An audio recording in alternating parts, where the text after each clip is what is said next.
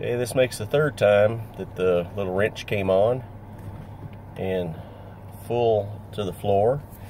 I'm throwing 1,000 RPMs and I'm running about nine, uh, five miles per hour.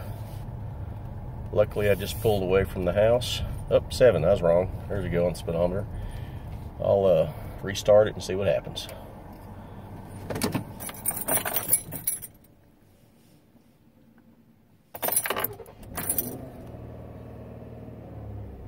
Think it's gonna work now.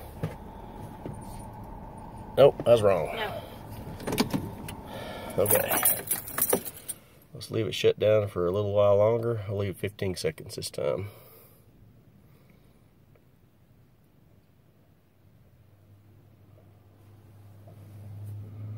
Coming up on 15 seconds. Okay, now. Ooh, there we go. Think that, yep, that, that fixed it. Now the engine light is still on, but the car is running.